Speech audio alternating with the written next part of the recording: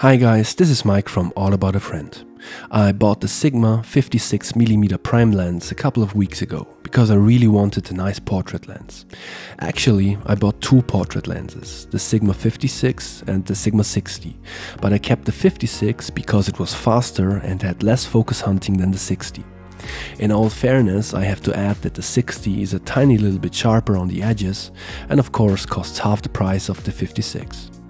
Anyway, so I did keep the 56 and I was recently looking for a nice macro lens for the Micro Four Thirds system.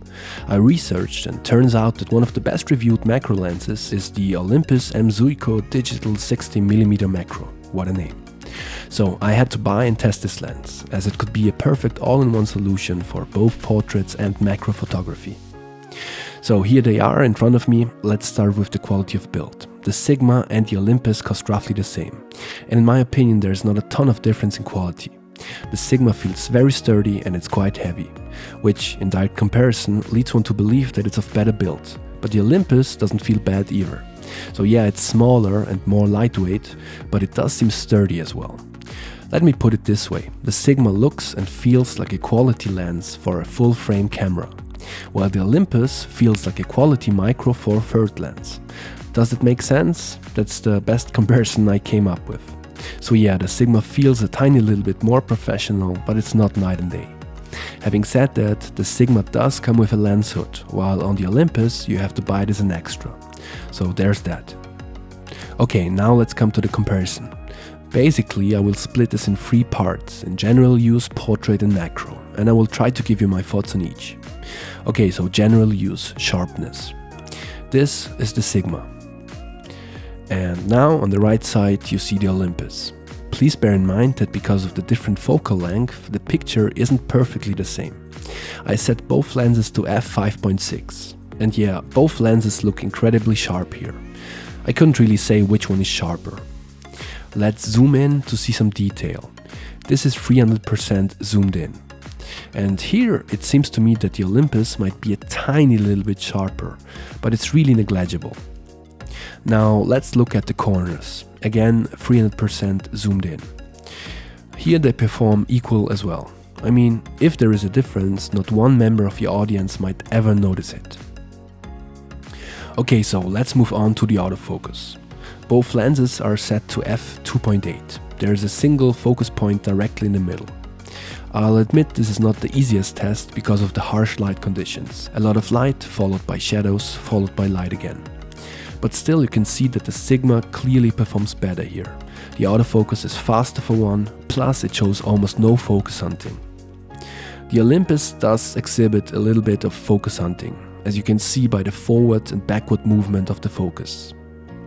In my shootout of the Sigma 56 versus the 60, I made a focus test as well, and the Sigma 56 performed beautifully, the same as here. However, this test and the last one were both done in broad daylight. I'm mentioning that because I encountered something a couple of days ago. So, this was shot in my flat, in a darker environment that was only lit with fake lights, no sunlight. Again, a single focus point is in the middle, and the Olympus, as you can see, does what it is supposed to do. It's not the fastest autofocus that I've ever seen, and here again it shows focus hunting. It focuses too deep and then rewinds a little bit, right? But let's compare it to the Sigma now. And what the hell is going on here? It seems to me the Sigma is simply unable to autofocus properly when the light conditions aren't perfect. It finds my hand no problem, as there is a big light box right behind the camera, but it really struggles with the microwave in the background. I actually couldn't believe my eyes when I saw that. I mean, even when you think, yeah, now the Sigma got it, it keeps on focusing and the picture gets blurry again. Sometimes it just stays blurry and refuses to do anything, like a spoiled child. Remember that all the settings on the camera are exactly the same, and yet here the Olympus outperforms the Sigma. That actually came quite as a shock to me. But okay, let's move on to portrait. Uh, this is my stupid face, filmed with the Sigma and now with the Olympus. Please ignore my dry skin and focus on the bokeh maybe. Uh, I don't know about you, but to me, this seems almost identical and just as you would expect. The background is a little bit closer on the Olympus, but other than that, they are pretty equal.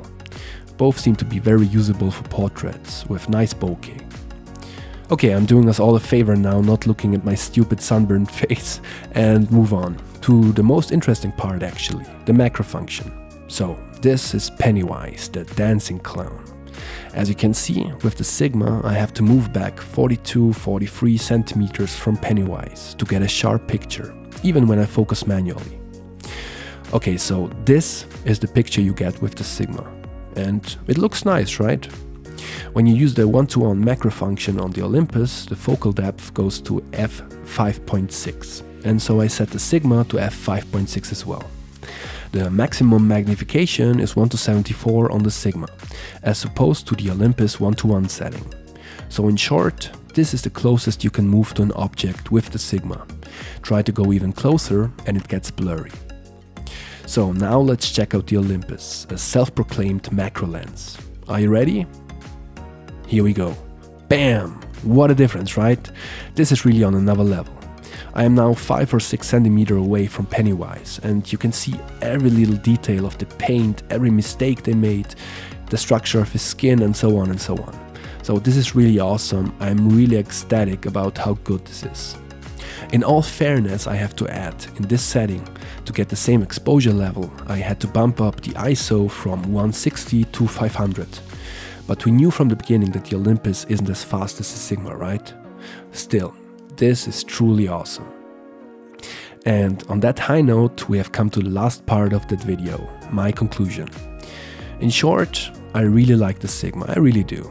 It has a sharp and great image, it feels really solid, it's a little bit cheaper than the Olympus, and it comes with a lens hood. But the autofocus issues that I encountered are just terrible. When the autofocus works, and it does work properly in broad sunlight, it's great. But as I showed you, it really starts to break apart as soon as light conditions aren't perfect. The Olympus, on the other hand, might not be so well built, it's more expensive, and it comes with no lens hood. But I really feel this is a great bargain for a great all-rounder. If you can live with one less stop, for not even $500 you can have a great portrait lens and a great macro lens in one. So yeah, I can absolutely confirm the great reviews of this thing. And I might add, it works just as good for video as it does for photography. And with that, I end this video. Please like and subscribe if you haven't already. Stay tuned for more video related stuff and see you next time. Bye.